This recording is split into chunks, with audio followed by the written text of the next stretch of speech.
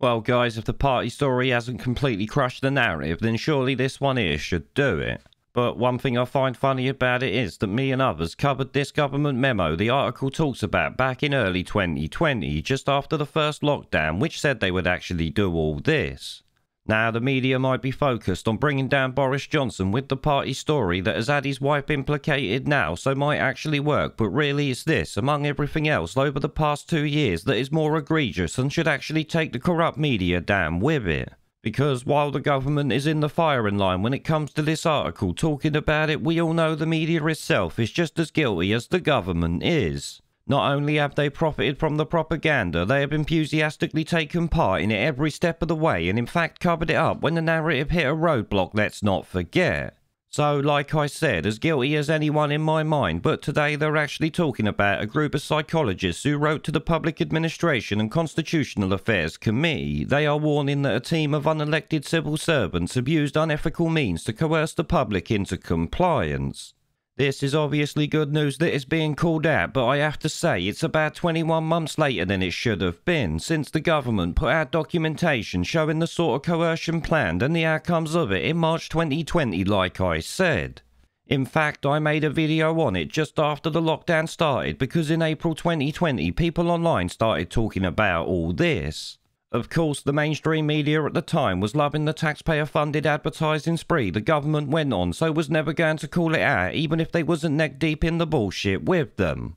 And here you have the government's own document showing their plan to increase the sense of personal threat to coerce compliance with their plans that the media knew about, let's be honest.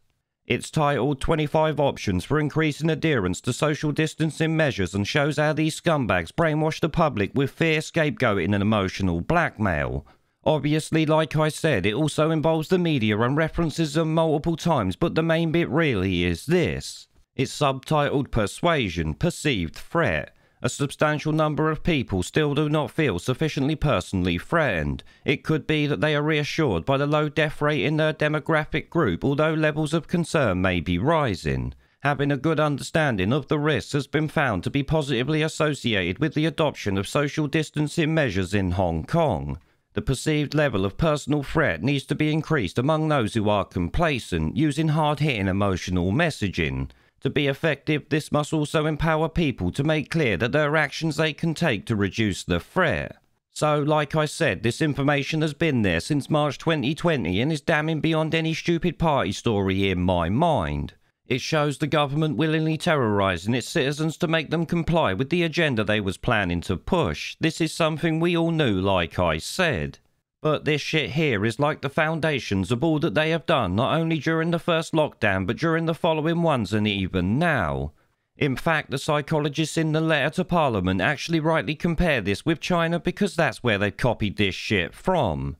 Here it states the signatory said it was highly questionable whether a civilized society should knowingly increase the emotional discomfort of its citizens as a means of gaining their compliance.